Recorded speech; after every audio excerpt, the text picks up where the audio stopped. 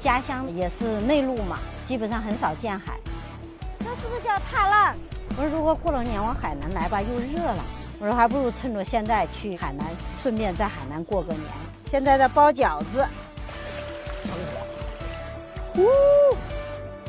开着车子跑了一万多公里了嘛，我根本就没感到孤独，我甚至连歌都不听，哈 哈，我感觉挺好的。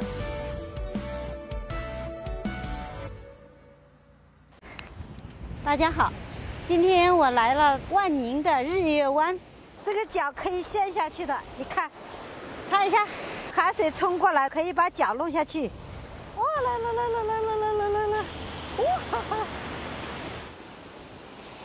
大家都穿着裙子，我也想起来我的裙子，我就把它拿出来穿上了，我感觉它比较艳，而且比较好看，感受一下海浪，啊，这一个浪好大，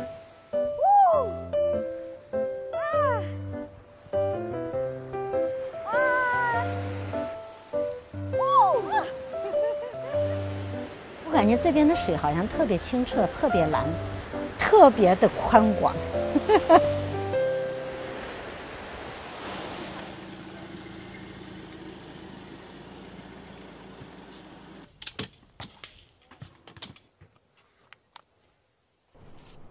这里是五十岁阿姨自驾游苏明苏阿姨的直播间。回完私信以后，我会看一些穿越小说呀，憧憬一下那些根本不存在的东西吧。几十年如一日的油盐酱醋茶的生活，忽然走到旅行的这个路上，感觉就像穿越了一样。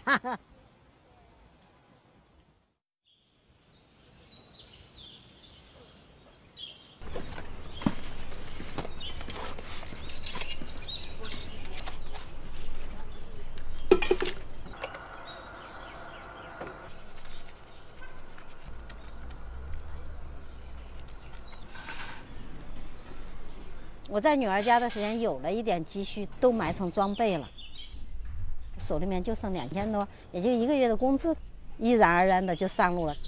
钱大部分都花在油费，因为一天要跑几百公里嘛。钱快没有了，我就住在营地里面，就等我的退休工资。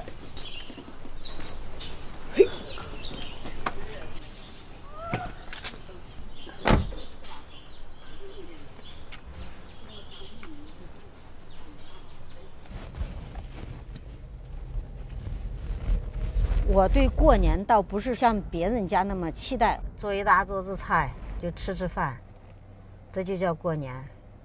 女的累得要死，男的坐那喝酒。但今年不用啊，我很清闲，这就是在外面过年的不同。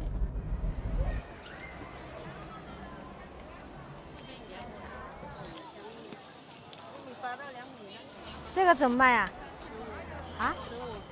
十五这么贵啊？十块钱行不行？可以的，这个是万事如意。今天呢，直播咱的包饺子，在我们北方这叫打馅儿。这个搅的越好，这个劲道越筋，打出来的馅儿才嫩好吃。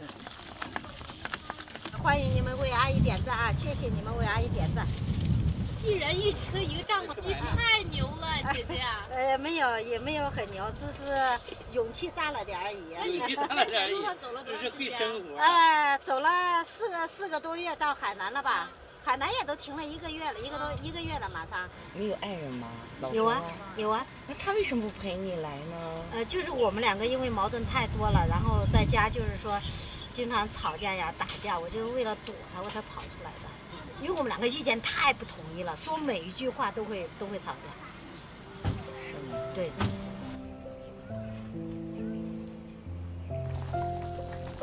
第一锅饺子好了，来，赶紧你们几个吃饺吃饺子。可可，这一碗是你的。热闹吧你看好多朋友过来看我我们一起在这一起过大年。过大年就是。以前在家都是别人看不上我都是嫌我这样做不好那样做不好。我没想到我这样一个平平常常的家庭妇女会受到这么多人的关注。我活成了别人想活的样子。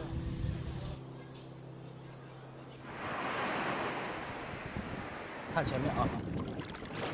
站起来，站，哎，站起来，好，站起来。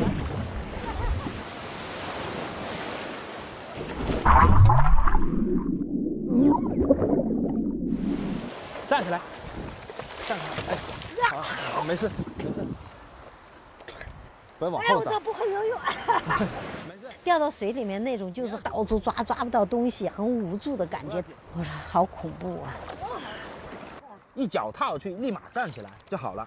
OK，好，站起来，站，看前面，差点就成功了，再来，扑上去，好上，哎，好，看前面啊，好，站起来，站，看前面，看前面，站起来，站起来，哎，但是试了几次以后就还好了。再掉水的话，就喝的就少一点。继续上去，哎，一会儿就趴着冲，冲爽一下。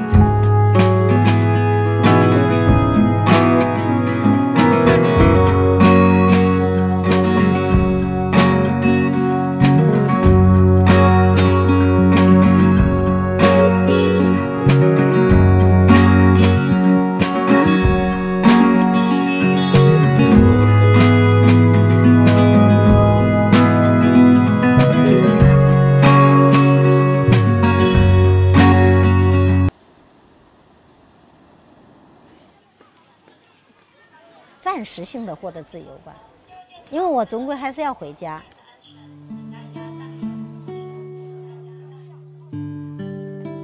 但是回家了以后，我相信我的心情肯定不是以前那么极端。